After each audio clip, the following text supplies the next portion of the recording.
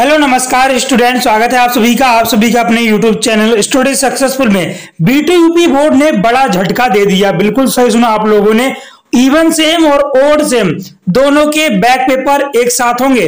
अगर आपने रीचेक का फॉर्म भरा है और आपका फाइनल प्रिंट नहीं भी कर रहा है है ना? और बैक पेपर भी भर दिया बैक पेपर भर गया आप लोगों का तो क्या क्या प्रॉब्लम आ रही है? एग्ज़ाम डेट आप लोगों की आ चुकी है।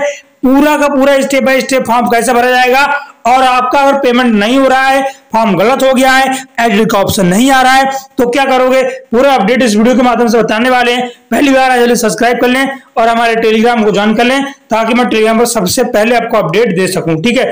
तो सबसे पहले आपको बताना चाहेंगे, यहाँ पर देख सकते हो आप लोग ठीक है? जो भी हमारे सम सेमेस्टर में बैठे थे, यहाँ पर बताया जा रहा है, देखिए, विषम सेमेस्टर का रिज़ल्ट आने के बाद अगर आपके बैग लगी है तो वो आपका बैक पेपर आदि उसमें सम्मिलित कर दिया गया है। उसका फाइनल प्रिंट लेकर और उसकी हार्ड कॉपी कॉलेज में जमा करना होगा।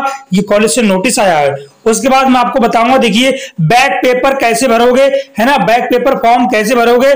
देखिए, ये जो है, इनका वो है, वो इवन सेम का बैक है है ना? सेकंड सेमेस्टर का बैक है। ये सेकंड सेमेस्टर ऑनलाइन एग्ज़ाम में हुआ था तो उसमें इसका बैक लगा था तो इसका भी एग्ज़ाम इसी सेमेस्टर में होगा। इसी सेमेस्टर मतलब पंद्रह जून से होगा, ठीक है? पंद्रह जून से एग्ज़ाम होगा, ठीक है? उसके बाद देखिए, जिन बच्चों का फ़र्स्ट सेमेस्टर में बैक लगा है फ़र्स्ट सेमेस्टर में उनका, देखिए, इसका केमिस्ट्री में बैग लगा है। तो जिन बच्चों का फ़र्स्ट सेमेस्टर में बैग लगा है, उनका भी एग्ज़ाम पंद्रह जून से होगा। पंद्रह जून से सभी बच्चों के एग्ज़ाम होंगे। तो बीटीयूपी बोर्ड ने बड़ा लपड़ा कर दिया, यहाँ पर बड़ा झटका दे दिया। आपको बैक फॉर्म कैसे भरना है, स्टेप बाय स्टेप बताने वाले हैं। और आप अगर लेटर एंट्री से हो तो भी आपका देखिए यहाँ पर, जो भी आपकी बैक आई है है ना? ये देखिए लेटर एंट्री वाला बच्चा है। तो इस तरीके की प्रॉब्लम्स बच्चों के साथ आ रही हैं। उसके बाद देखिए फॉर्म आपको कैसे भरना है, वो मैं बताऊँगा। स्टेप बाय स्टेप वीडियो को स्किप ना करें। तो डियर स्टूडेंट्स आपको बीटीयूपी की ऑफिशियल वेबसाइट पे आ जाना है और ये लॉगिन वाला ऑप्शन दिख रहा है आप लोगों को। इस पर स्टूडेंट लॉगिन पे क्लिक करना है। सिंपली उसी तरीके से डाउनलोड करना है इसी तरीके से फिल करना है और यहाँ पर environment number date of birth डाल के लॉग कर लेना है। ठीक है तो मैं करके दिखाता हूँ आपको। देन स्टूडेंट्स आप सब कुछ पासवर्ड और जो भी है आपका डालकर सबमिट करोगे, फिर आपके सामने इस तरीके से आ जाएगा और यहाँ पर प्रिंट एग्जामिनेशन फॉर्म वाला ऑप्शन दिखता होगा। फिर आपको इस तरीके से इस पर प्रिंट पे कर लेना है क्लिक और ये पीडीएफ में चले जाएगा और गूगल ड्राइव में सेव हो जाएगा। इस हार्ड कॉपी को अपने कॉलेज में आपको जमा करना होगा। और ये जो है बेटा बैक पेपर है। चाहे आपका ओल्ड सेमेस्टर हो बैग लगी हो, चाहे आपका इवन सेमेस्टर में बैग लगी हो, उन सभी का पेपर जिन बच्चों की फ़र्स्ट ईयर में बैग लगी है फ़र्स्ट सेमेस्टर में अभी जो एग्ज़ाम हुआ है उसमें, है ना? उसके बाद आपकी थर्ड में बैग लगी है और फिफ्थ में बैग लगी है। उन सभी का एग्ज़ाम इसी सेम में होगा। हाँ जी, बिल्कुल सही सुना आप लोगों ने। इसी सेम में होगा एग्ज़ाम आप लोगों का, ठीक है? इसी सेम, यानी पंद्रह जून से आपके एग्ज़ाम है। अब बीटीयूपी ने कर दिया बड़ा लोचा। भैया, इसमें बच्चे हो रहे कंफ्यूज ठीक है? तो इस तरीके से आपने बैक पेपर के फॉर्म को भर सकते हो, वहाँ से डाउनलोड कर लेना है कॉलेज में जमा कर देना है, ठीक है? जो फ़ीस लगती है, दो सौ रुपए साथ पर पर पेपर लगती है तो आप लोग कॉलेज में जमा कर दो पैसे के साथ, ठीक है? अब देखिए साहब आप लोगों के सामने इस तरीके की प्रॉब्लम आ रही है। आपने देखिए पेमेंट कर दिया रीचेक की बात कर रहा हूँ यहाँ पर मैं। ठीक है? आपने भुगतान कर दिया है। भुगतान बहुत बच्चों को नहीं हो रहा है। 24 घंटे हो गए बच्चों को भुगतान ही नहीं हो रहा है। इसमें ओपनली लेटर में लिखा गया है कि 24 घंटे के बाद आप पेमेंट कर सकते हो और फिर 24 घंटे के बाद आप उसमें क्या कर सकते हो? है ना? आप फाइनल प्रिंट निकाल सकते हो। तो फाइनल प्रिंट कैसे निकालना है मैं प्रक्रिया बताऊँगा आपको। उससे पहले देखिए अगर आपका फॉर्म गड़बड़ हो गया है तो आप लोग कैसे क्या करोगे मैं बताने जा रहा हूँ। देखिए, आपको जन सुनवाई पर मतलब शिकायत करना है तो इस तरीके से आपको शिकायत कर देना है, वहाँ पर भी आपकी शिकायत पहुँच सकती है।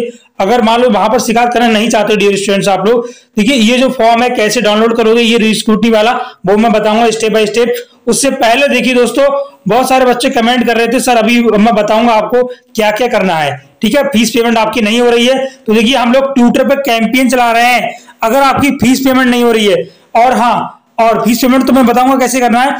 अगर आपका एडिट नहीं हो रहा है है ना रीचेक और स्कूटनी का फॉर्म है, वो आपका एडिट नहीं हो रहा है।